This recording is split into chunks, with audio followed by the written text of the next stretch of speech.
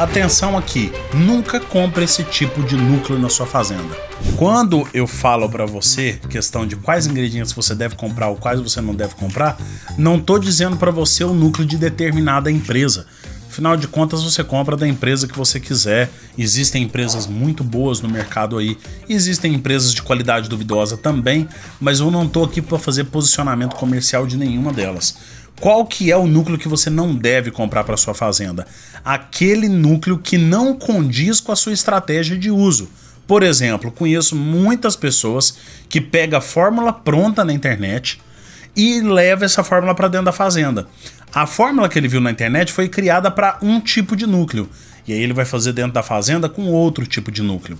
Exemplo: tem muitas fórmulas usadas com núcleo de proteinado que são feitas específicas para o uso daquele núcleo, isso é muito importante a gente ter firme na cabeça. E na hora que chega dentro da fazenda, o produtor está fazendo aquela exata fórmula. Aí você vai verificar qual que é o núcleo que ele está usando.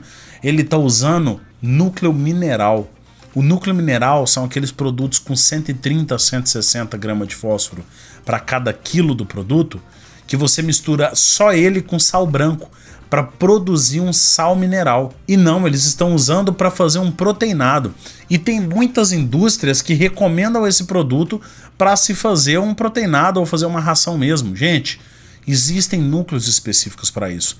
Tomem muito cuidado. Quando você pega e usa um núcleo que não é apropriado, isso se chama gambiarra e não atende às exigências nutricionais do animal. Cada núcleo é criado para ter uma inclusão específica para o animal ingerir aquela quantidade e atender às exigências dele. E cada tipo de exigência, cada nível de exigência, tem uma quantidade de minerais que esse animal tem que ingerir. Então temos que tomar muito cuidado com isso porque aí vai compor todo o restante da receita. Outro exemplo forte que a gente tem, e isso acontece muito comigo a campo, é a pessoa comprou um núcleo de ração e aí chega num determinado ponto, acaba o tratamento dos animais e sobrou do núcleo para fazenda e aí fala assim para mim, Neto, preciso da sua ajuda para produzir um proteinado a partir desse núcleo para ração. Gente, deixa eu contar um negócio para vocês. Quem é meu cliente a campo ou quem eu faço atendimento com formulações aqui pela internet mesmo, é, já tá cansado de ouvir isso. Eu falo para pessoa assim, não tem como usar esse núcleo porque isso que você tá querendo fazer é gambiarra e é uma gambiarra mal feita. Mas existem técnicos a campo que fazem essa formulação sem problema nenhum e não imaginam o prejuízo que isso daí pode dar para você lá na frente. Mistura um pouco de sal branco para poder travar o consumo, joga um pouco de farelo de milho ali no meio, uma ureia para regular a proteína, afinal de contas eu tenho que balancear a proteína e tá tudo pronto. Aí está a grande diferença dos técnicos que estão presentes a campo. Alguns sabem só os aspectos básicos, que é o balanceamento de proteína, e outros sabem todo o balanceamento necessário para o animal ter um metabolismo bem feito. Aqueles que partem só do básico não estão preocupados com quanto de mineral esse animal vai ingerir. Se eles pegar um núcleo que foi feito para ingerir 300 gramas por dia e ele configura para ele montar um produto onde ele vai ingerir 70 gramas, 100 gramas desse núcleo por dia, ele não tá nem aí, porque a fórmula ficou pronta, tá com 20% de proteína, o animal vai comer e tá uma beleza, vai travar o consumo. Então escolha bem os núcleos que você vai colocar, tenha boas orientações de técnicos que já trabalham há algum tempo nisso daí no mercado, tá bom?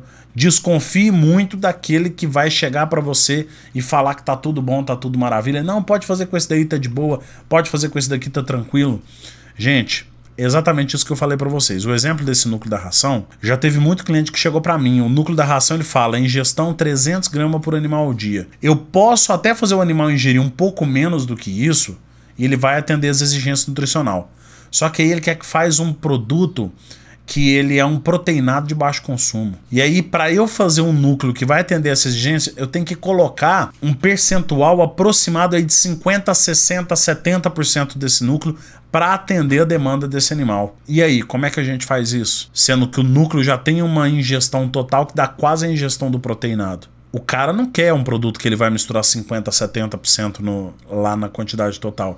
Ele quer um produto que vai colocar 10, 15, 20% e colocar ingrediente aí variado para ele poder baixar o custo. Toma muito cuidado. Traga aspectos técnicos que são importantes para sua propriedade se você quiser manter a segurança alimentar dos animais. Sobre segurança alimentar, existem formas de reduzir o custo de produção dentro da fazenda, mantendo a segurança alimentar de seus animais. Eu deixei um link aqui na descrição de uma aula completa onde você consegue assistir e tirar suas próprias conclusões e já levar práticas importantíssimas para sua fazenda que vai reduzir o seu custo de produção ainda hoje. É só você clicar no link aqui abaixo. Espero que você tenha gostado desse vídeo, espero poder ter te ajudado. Coloca aqui nos comentários quais as marcas de núcleo que você usa na sua propriedade. No mais, muito obrigado e até a próxima. Forte abraço, tchau, tchau.